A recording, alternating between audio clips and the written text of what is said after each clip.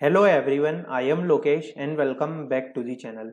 So friends, this video is very important for all of you. Don't do this mistakes during exam process interview because I just received a candidate message on my WhatsApp business account that uh, he just uh, got the mail from the particular MNC that uh, he caught in the malpractices and he banned from the process. तो ये video जो है ये बहुत important होने वाली है। आप Accenture Capgemini Infosys TCS Cognizant किसी की भी किसी भी एमएनसी की एग्ज़ाम देते if you are from 23, 22, 21, 2020 batch so this video is very important because cheating is equals to ban वो डायरेक्ट आपको बैन कर देंगे। मैं आपको पहले मैसेज दिखाऊँगा, उसके बाद हम सारे पॉइंट्स पे डिस्कस करते हैं। देखिए, मुझे कैंडिडेट ने बोला है hello sir I am very depress now as recently I received that you caught in malpractice sir what to do now please suggest me and in that they mention that you are ban from process तो सबसे खराब बात है दोस्तों कि यहाँ पर मुझे भी बहुत अच्छा नहीं लग रहा है कि कैंडिडेट्स को इस टाइप के कुछ मैसेजेस आ रहे हैं। और देखिए, मैं आपको वीडियोस में पूरी इन्फॉर्मेशन दूँगा कि हमें इन चीज़ों से कैसे बच के रहना है, क्योंकि देखिए, ये हमारे पूरे करियर का सवाल रहता है। जैसे कि अगर मान लीजिए, हम कोई क्वेश्चन शेयर कर देते हैं किसी भी टेलीग्राम ग्रुप पे तो उसके क्या डिसएडवांटेज हैं या हमें कोई भी आंसर्स आ जाते हैं और हम बस उन्हें बिना देखे कोई भी कोडिंग क्वेश्चन रहता है, उसे हमें हमारा वो कोडिंग क्वेश्चन का कोड मिल जाता है तो हम खुश हो जाते हैं कि हमारे सारे टेस्ट केसेस पास हो गए। पर कुछ चार कंडीशंस मैंने इस वीडियोस में लिए कि ये जो टेलीग्राम ग्रुप्स पे आंसर और क्वेश्चंस की शेयरिंग हो रही है, उसमें कंपनी कितने सख्त टाइप से एक्शन लेने वाले हैं। माल प्रैक्टिस का क्या है यहाँ पर?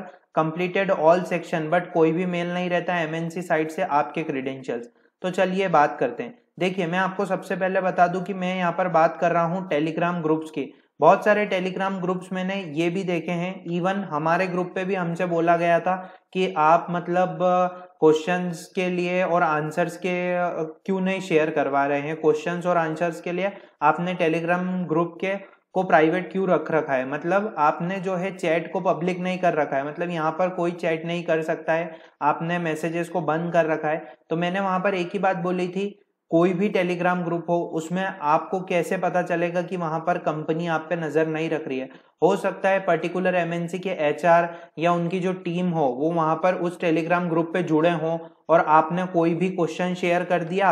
अब क्वेश्चन के साइड में कुछ इस टाइप से ऐसे नंबर लिखे आते हैं। क्वेश्चन के ऊपर मैंने टीसीएस एनक्यूटी में भी देखा था और बहुत सारी एग्ज़ाम्स में भी होता है। तो ये नंबर क्या होते हैं? ये नंबर जो रहते हैं, यही आपके आइडेंटिफायर नंबर रहते हैं।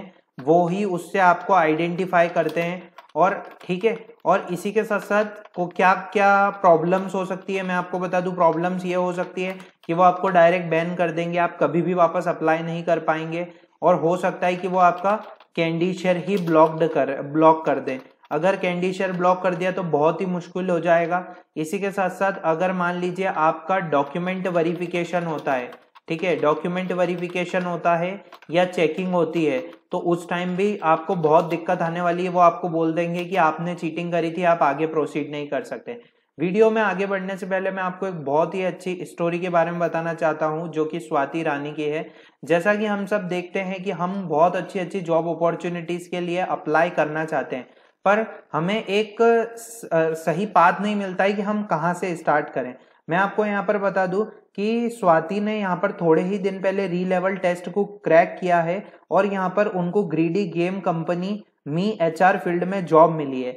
सबसे इंटरेस्टिंग बात यहाँ पे है कि थोड़े ही दिन पहले, उससे थोड़े दिन पहले स्वाति ने डिस्ट्रो टेक में भी उनको ऑफ़र हुआ था रोल एचआर एसोसिएट का और उन्होंने एचआर री लेवल जर्नलिस्ट टेस्ट को क्रैक किया था। बट स्वाति का इंटरेस्ट जो था वो एचआर रोल में था तो उन्होंने ये ट्राई किया कि वो उसको जल्दी से जल्दी क्वालिफाई करें और वो एचआर टेस्ट के बारे में अपने आप को इंट्रोड्यूस कर रही थी। मतलब वो री लेवल इंटरव्यू में उन्होंने ये बताया कि मेरा जो इंटरेस्ट है, वो बहुत अलग है कुछ फ़ील्ड को लेके।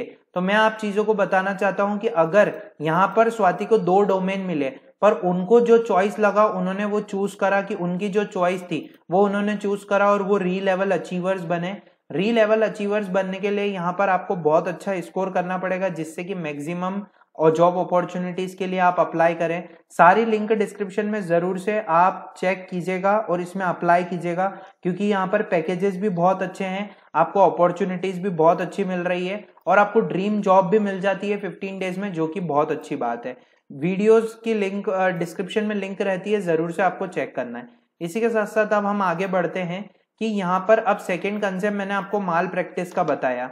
कोई भी कंपनी हो, ठीक है if any MNC like Infosys TCS Wipro Cognizant कोई भी, माल प्रैक्टिसेस वो आप हमेशा मेंशन करते हैं कि अगर आप माल प्रैक्टिसेस में पाए गए तो आप डायरेक्ट बैन हो जाएँगे प्रोसेस से।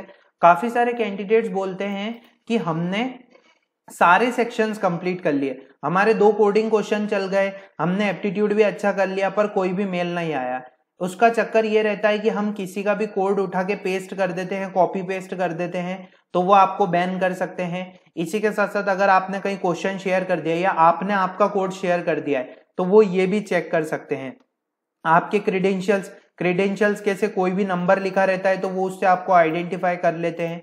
मेरी आप सभी से एक रिक्वेस्ट है प्लीज़ दोस्तों हायरिंग्स में अप्लाई कीजिए। आप अपनी मेहनत से बैठिए हायरिंग में। अच्छे से एग्ज़ाम दीजिए, क्योंकि देखिए, मान लीजिए आप एग्ज़ाम यहाँ से किसी की भी मदद से क्रैक कर भी लेते हैं तो कंपनी में जाने के बाद जब प्रोजेक्ट की बारी आएगी तो उस टाइम आप क्या करेंगे? उस टाइम आप किसकी हेल्प लेंगे? कि आपका प्रोजेक्ट बनवाने के लिए भी बहुत सारे लोगों को आप बोलेंगे कि नहीं, हमारा प्रोजेक्ट बना दो। तो मेरा सिर्फ़ आप सभी से एक ही चीज़ कहनी है कि अगर कैंडिडेट्स को ऐसे मेल आते तो मुझे बहुत बुरा लगता है कि हम प्रिपरेशन करवा रहे हैं, इसी के साथ साथ हम तैयारी भी कर रहे हैं। पर हमारी एक मिस्टेक की वजह से यहाँ पर हमारा आगे का जो करियर है, या हम जिस जॉब अपॉर्चुनिटी के अप्लाई कर रहे हैं, उससे हम बैन हो जाते हैं।